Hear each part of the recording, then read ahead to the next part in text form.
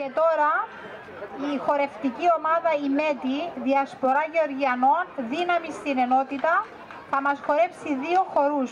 Χοροδιδάσκαλος η Ταμάρ Κερασβίλη. Καλωσορίστε τους. Ευχαριστώ.